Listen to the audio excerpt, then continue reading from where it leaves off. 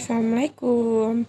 Kali ini aku mau bikin buket mini yang super gembul Cuman pakai setengah selo aja tanpa lem tembak Juga tanpa pakai busa styrofoam ya.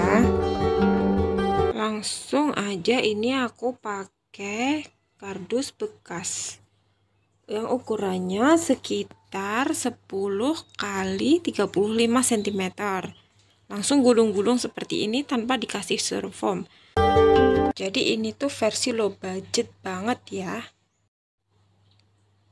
Oke lanjut aku mau bikin pola hati nanti untuk membentuk kecapnya. Yang aku ukur dulu kira-kira setengahnya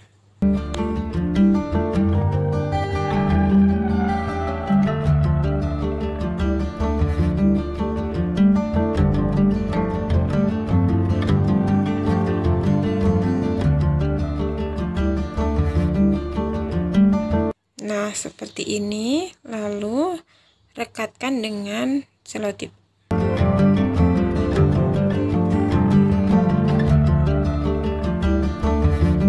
Serapi mungkin ya.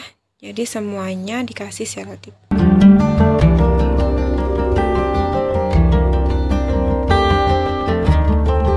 Jadi ini tuh bisa untuk kado di hari guru, hari ibu, hari Kartini atau untuk acara-acara yang berhubungan dengan ibu atau wali kelas atau perempuan lainnya.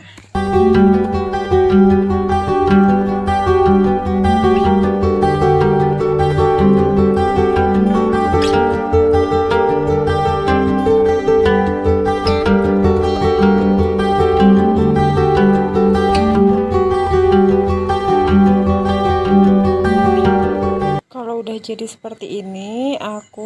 aku beri tusuk sate di bagian belakang.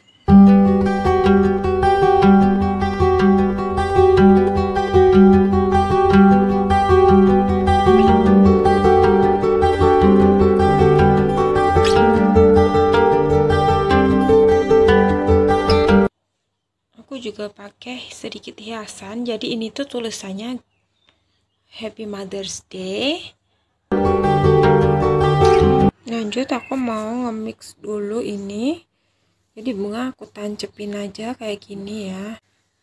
Lanjut aku tancepin juga kecapnya. Beri sedikit tangkai. Ini juga murah banget kalau beri satu ikat itu. Jadi aku cuma ambil satu lembar aja satu daun. Lalu ini hiasannya juga aku tancepin gini aja.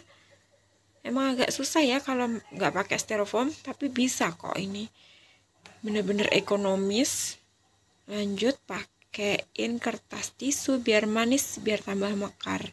Jadi kuncinya ini juga ya kalau mau bikin buket gembul harus pakai uh, kertas tisu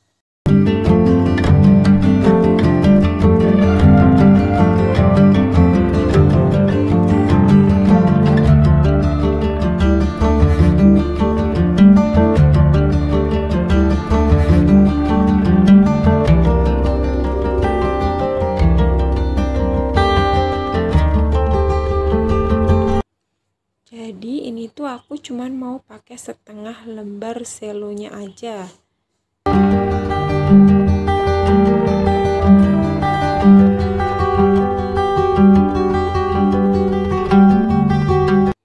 Nah setengah lembar selo ini aku potong jadi dua bagian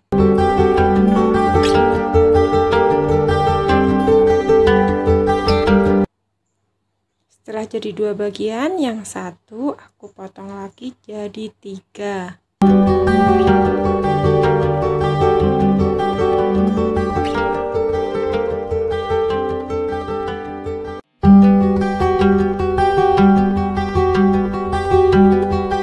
Setelah itu yang tiga potong ini kita satukan lalu bagi lagi menjadi dua bagian jadi total ada enam bagian yang sama besar.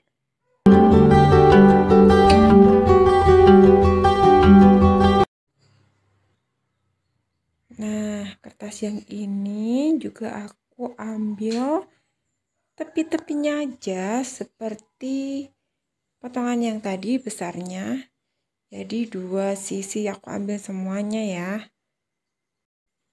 jadi seperti ini pola potongnya untuk kalian yang mau cobain buat buka seperti aku.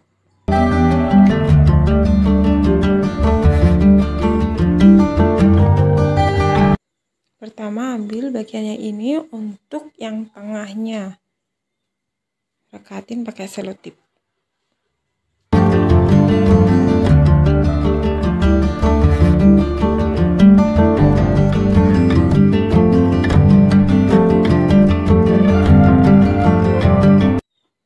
lanjut aku ambil yang paling sisi bawah ini ya. Bentuk seperti ini. Dan taruh sebelah sini. Nah ini nih kuncinya. Kalau mau bikin buket gembul harus dicubit dikit sebelah sini. Kalau mau gembul lagi bisa lebih lagi ya cubitnya sampai belakang gitu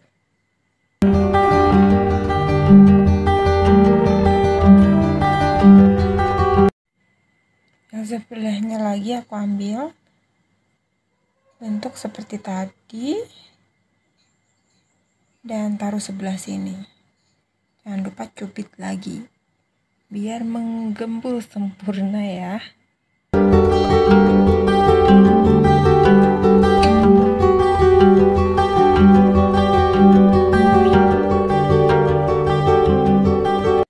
Setelah itu aku ambil yang ini aku bentuk S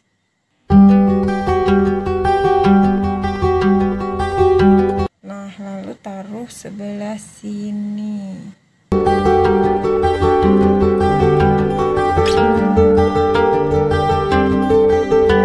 Jangan lupa cubit-cubit lagi dan rapikan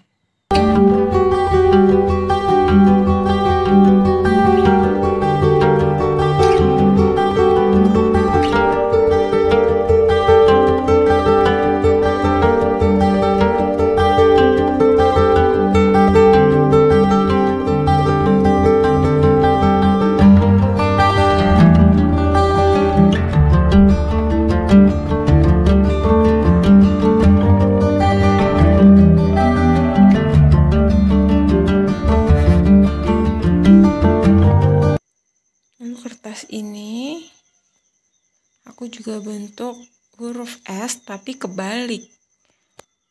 Aku taruh sebelah sini cubit-cubit dan aku rapiin lagi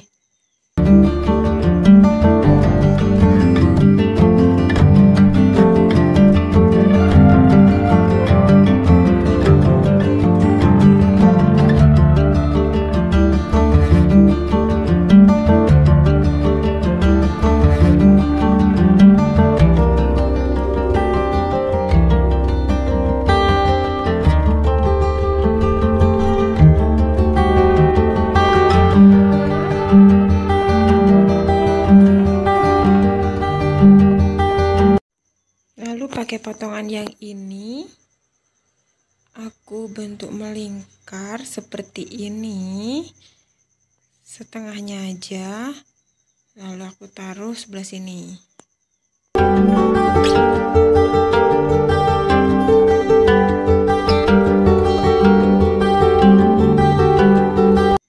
Cubit lagi biar bisa melingkar sempurna dan menggembul dengan baik.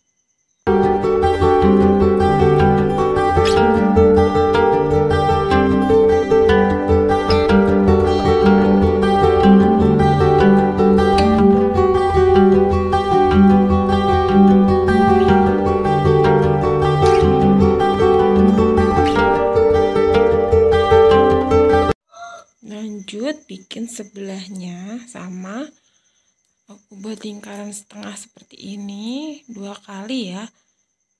Langsung taruh sebelah sini. Nah kan sebelum dicubit dia nggak mau mekar ya.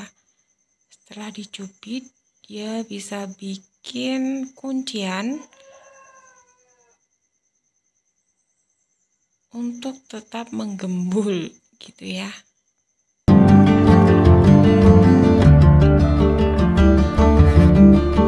lanjut ke potongan kecil yang terakhir ini aku taruh belakang supaya lebih rapi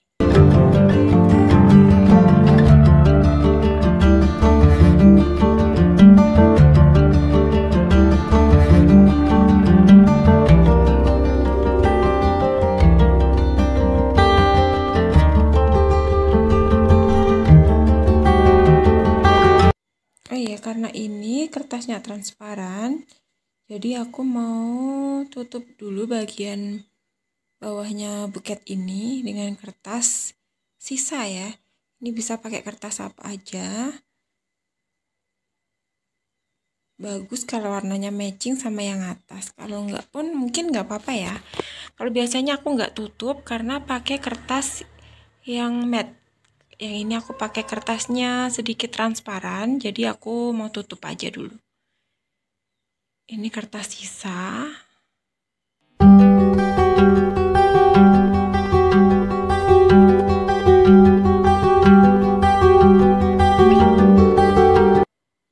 Kertas potongan terakhir yang besar ini aku buat untuk roknya ya. Jadi aku bikin lipitan-lipitan seperti ini. Aku cari tengahnya dulu lalu aku bikin lipitan seperti ini. Ini nggak perlu juga ditekan terlalu kencang. Untuk apa? Biar dia bisa mengembang ya. Jadi roknya biar apa ya? Mekar-mekar gitu jadi lucu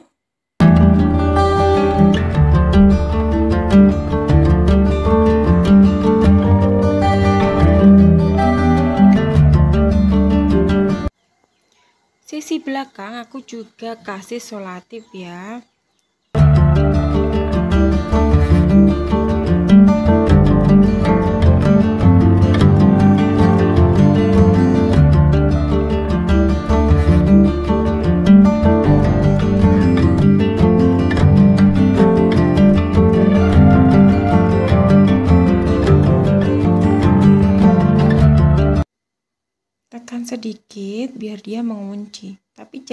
terlalu ditekan ya. Takutnya apa? Nanti nggak bisa ngembang gitu. Nah tinggal pakein roknya.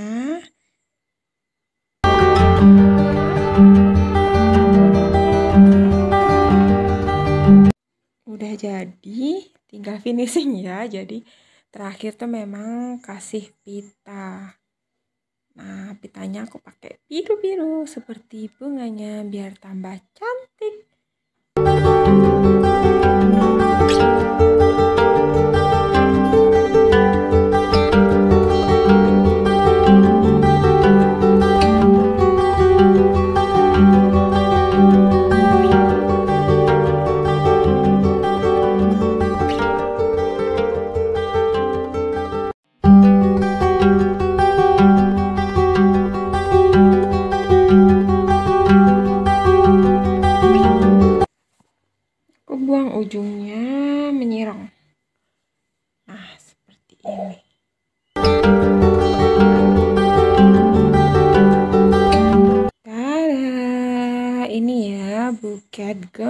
Cantik cuman dari setengah selo aja tanpa lem tembak juga tanpa styrofoam atau busa gampang banget kan terima kasih sudah menyaksikan video ini Semoga bermanfaat.